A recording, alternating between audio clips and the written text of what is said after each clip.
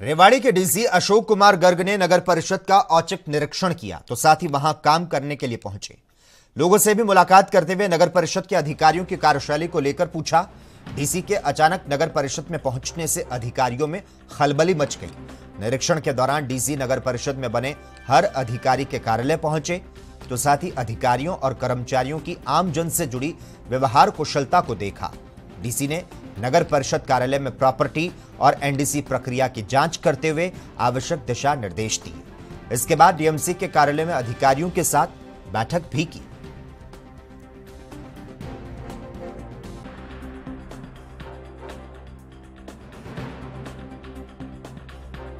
शहर के लोगों को दिक्कत आ रही है, एनडीसी की।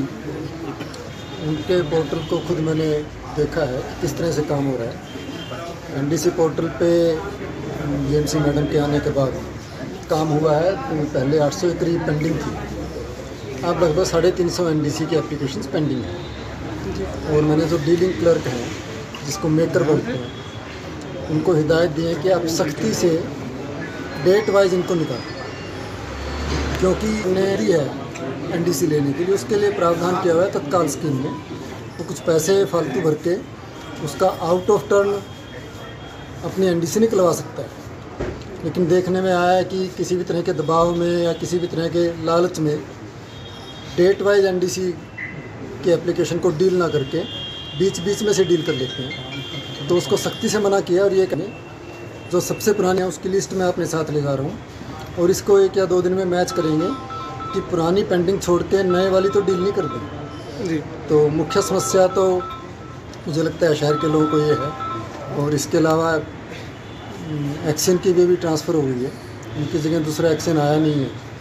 तो डेवलपमेंट वर्क्स को तो तब रिव्यू करेंगे जब एक्शन भी आ जाएँगे और ईओ भी आ जाएँगे। बहुत ज़्यादा गैर हाजिर नहीं मिले हैं। दो तीन कर्मचारी गैर हाजिर मिले हैं। बाकी स्टाफ फ़ील्ड में भी गया हुआ है। परिवार पहचान पत्र की वेरिफिकेशन करने के लिए। किसको मिले, किसको ना मिले, इसमें समस्या ये है कि जैसा मैंने बताया कि दफ्तर का एक हेड होता है। जी। वो हेड ही इन्हीं कारणों से यहाँ पे अभी नहीं है। उस वजह से कन्फ्यूज़न की स्थिति पैदा होती है। अभी डीएमसी मैडम ने जो अकाउंटेंट हैं यहाँ नगर परिषद के उनको जब तक ईओ स्थायी रूप से कोई नहीं आ जाता उनको कहा है कि वो ईओ की जिम्मेवारी निभाएँ। सकती है लेकिन उसका तरीका ये है कि लोग एप्लीकेशन दें और हम ये इंश्योर करेंगे कि जो एप्लीकेशन आती है उस पर डिसीज़न हो नगर परिषद की। सर